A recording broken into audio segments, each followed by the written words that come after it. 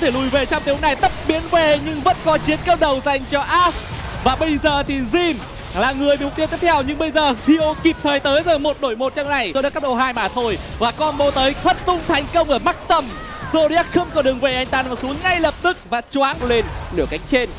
Ờ, đang ăn cua đừng rất lại đánh nhau. Tấp biến lên tấn công Zodiac. Zodiac không còn tấp biến nữa anh ta đã chịu rất nhiều sát thương nét vẽ trúng vào người của Killer nhưng hỗ trợ của Emi lại là người chuyển anh ta lại gặp nguy hiểm. Rồi rất nhiều sát thương bồi vào kén nhẹ thành công. Sát thương bồi vào artifact là đủ và chấm dứt.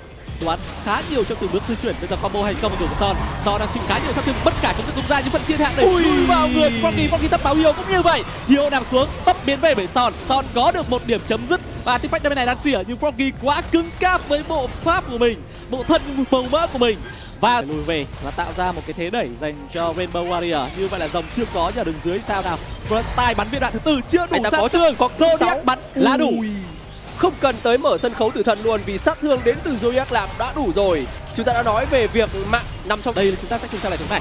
Một tình huống mà Hio cũng như là Artifact họ đã rất chủ động để tấn công. Uh, nhiều sát thương ở đường trên lại có đánh nhau. Lại cố gắng đến từ son nhưng họ lại không làm được do những tình huống giao tranh liên tục. Ừ. Ừ, đó là tình huống mà ừ, Hio ở lại này. Đường dưới có vẻ như lại có đánh nhau đây. Khi mà Hio đang đợi giờ một cái tình huống gì đó sân của thần được bật ra.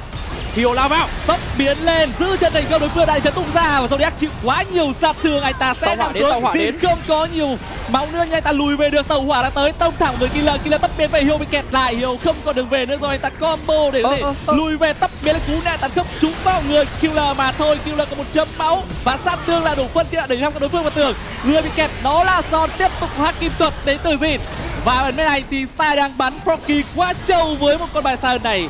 Jin nằm xuống giao tranh cả hai team đều lên bàn điểm số ở rất nhân sự xuống đến từ cả hai bên. Người chủ động hơn lần này đó là các thành viên của phía của Rainbow Warrior tốc độ và thi đấu lên. Đó chính xác là những gì mà họ đang làm từ nãy tới giờ. Với việc Froggy liên tục có được thế đẩy được combo kỳ kích về mà thôi. Đó xem nào. Nét vẽ trên trăm trói chân thành công người Hio và Hio ta tiếp tục bị hất tung Froggy ở trong ván thi đấu này ta lên thẳng bóng sắt cổ tự. Bây giờ tiếp tục lao vào nhưng lại bị kén trên và sức hút kỳ hoạch không có quá nhiều tác dụng. Ngay lập tức Jin nằm xuống người tiếp theo gặp nguy hiểm. Wow. lại là Hio và double kill dành cho Style. Quá tuyệt vời. Một ngày trở lại rất tuyệt vời đến từ Sai đi đường tuyệt vời mạng ăn cũng rất tuyệt vời nữa. Những tình huống nhả đạn đến từ sân khấu tử thần đó là quá chuẩn xác ở tầm xa. Hạ gục được người đồng đội cũ của mình là Jin và cả dừng đối phương nữa. Tuyệt vời con rồng này là phần thưởng xứng đáng dành cho AB Jin đặc biệt nó là một cái món trang bị rất phù hợp với Ichok đúng không? Nó là cái trụ thật. Nó là cái trụ uh, Rio cây thật cả xấu được bật lên. Họ muốn chọn cây Rio cây ta mất đi chiêu e rồi anh ta vẫn bị hất tung sức hút kinh hoàng tung ra và tiếp tục làm choáng artifact đã tới. Để được sử dụng hồi máu quá ghét với cái giáo thiên ly một mình anh ta đã quay bốn thành viên nhưng anh ta vẫn lại phải lên bàn số. Hơi đáng tiếc dành cho anh là style và zodiac để áp lực vào trụ hai đường dưới. Mở sân khấu tử thần mở sân khấu lên kill lợi anh ta bắn ra chiêu cuối nhưng anh ta bắt buộc đi! về vẫn phải lên bảng. Mạng dành cho style. Quá kinh khủng ngày hôm nay style đang chơi như một con người hoàn toàn khác vậy. Đúng như gì anh ta đã chia sẻ. Một mùa giải nghỉ ngơi là điều mà anh ta cần để nhìn ra được những cái sai lầm bản thân. Và cùng với cả giá thiên ly nữa. Tuy nhiên là tôi đang cảm giác rằng ôi kìa đại bác tiên tung ra nó không trúng. Hát kim thuật để thoát khỏi đến từ Jin và hiện tại Hio đứng lên khá là cao ta bị dính cái kén nhện. Và Hio không phải đó là cú nện tàn khốc Hio đứng lên hơi Đây cao rồi. bây giờ kén nhện tiếp tục chính xác. Thật cả xấu bật lên từ tốc biến về nhưng ta vẫn phải nằm xuống dịch chuyển tới. Đến từ các viên của Emi. Và Hio có một chấm máu Hio cây bọc sau. Hio đã bắt combo rồi tốc biến lên vẫn đủ sát thương đến từ Style với phiên bản cuối cùng. Và bây giờ Jin bị kẹp lại Zoyak đứng lên cao để che chắn không cho Killer được chơi và điều cây tấp biến xiềng xích chính xác Killer không còn đường về nữa rồi. Và anh ta sẽ nằm xuống mạng dành cho Zodiac Và người sống sót duy nhất là Tifax mà thôi.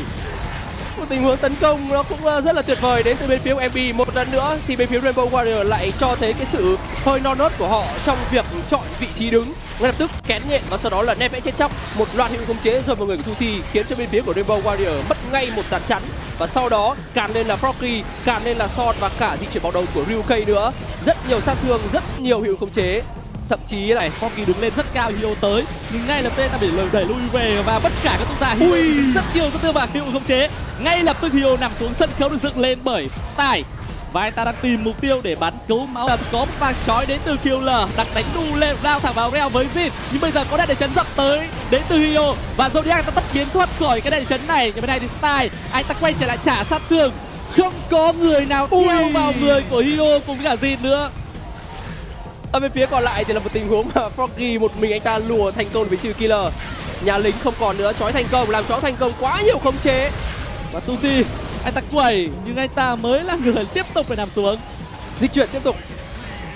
Ơ có một mạng dành cho Artifact đáp trả ngược lại bằng việc là anh ta tận dụng cái sai lầm của Zodiac đứng lên hơi cao và tấp biến đến từ Artifact đầu tư để thoát khỏi cú nệ tàn khốc quay trở lại trả sát thương. Để một cái di chuyển nữa. chiều có di chuyển tới son thất máu son nằm xuống rồi sát thương của Artifact là đủ. Liệu anh ta có phòng thủ được dành cho các thành viên của Rainbow Warrior hay không? Nhảy ngựa thành công. Tiếp tục hất tung nhưng không thành công với phần chiến đạn này và Rainbow Warrior họ vẫn sẽ phòng thủ được. Trận đấu vẫn chưa kết thúc. Trận đấu chưa kết thúc một nỗ lực không chính xác. Bây giờ sân khấu được dựng lên Hio bị tấn công. Hio anh ta có thấp máu anh bất khả kháng tung ra viên đạn thứ tư trúng vào người. Hio Hio còn một chấm máu và anh ta lui về được. Nhưng trụ không còn nữa. Froggy nằm xuống rồi mạng sắt đào. Dành cho thành viên phía Rainbow Warrior Jin đang cố gắng nỗ lực trong tuyệt vọng. Và Emmy họ sẽ kết thúc ván thi đấu này. Chàng Artifact người ta lao tới để xuống phân chia thiên hạ nhưng từng đó đó là không đủ lính đang tràn lên nét vẽ chú kill và tiếp tục cá sấu của Tuti nằm xuống. Một không dành cho các thành viên của Emi một không dành cho Emi một trận đấu mà rõ ràng họ cho thấy rằng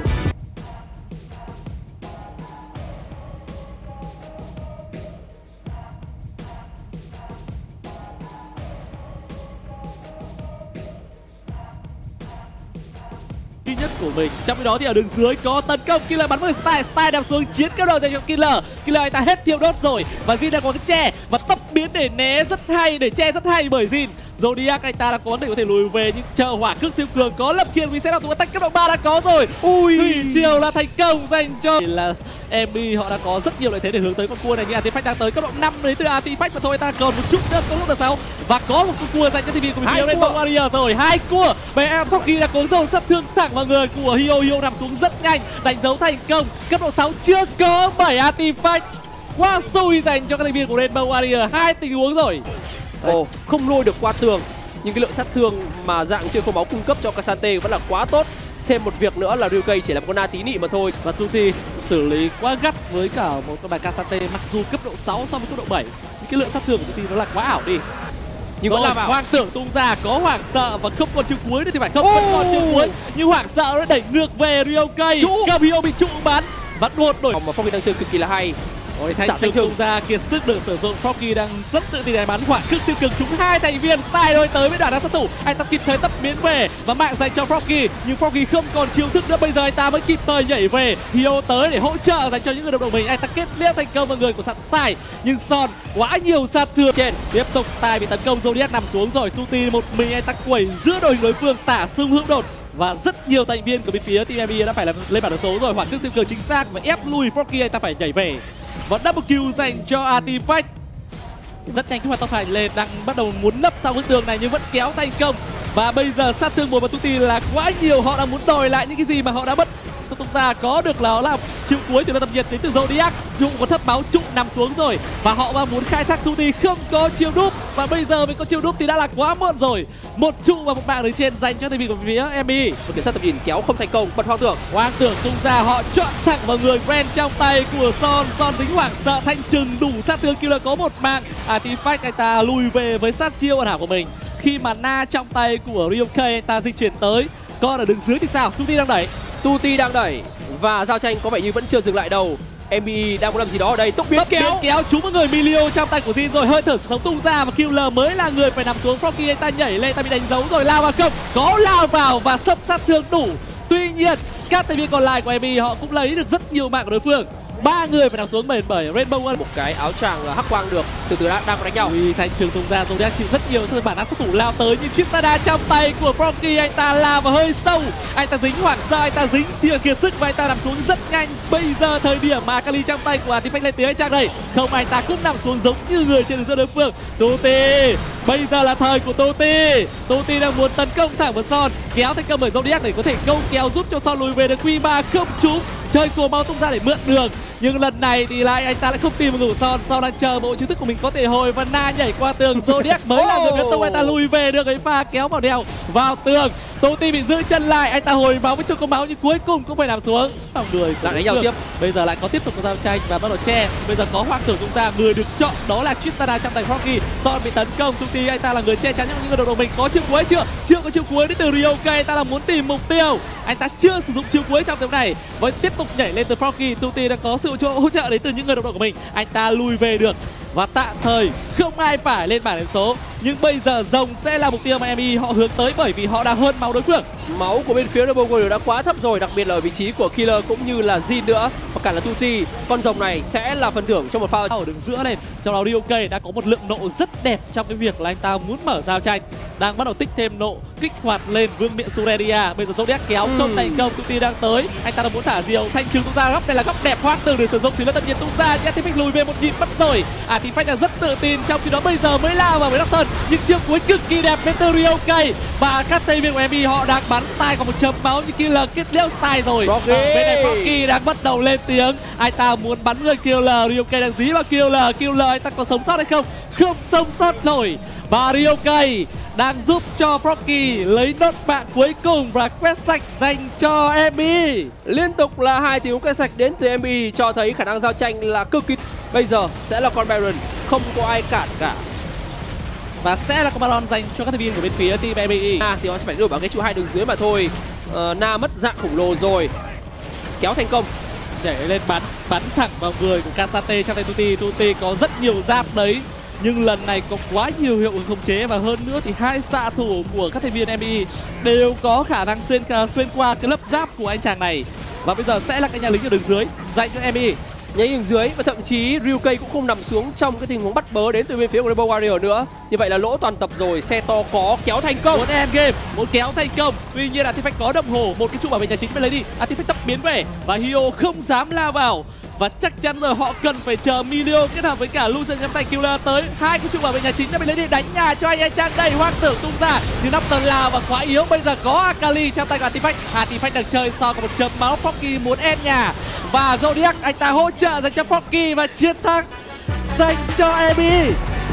Một chiến thắng rất tuyệt vời theo một trận đấu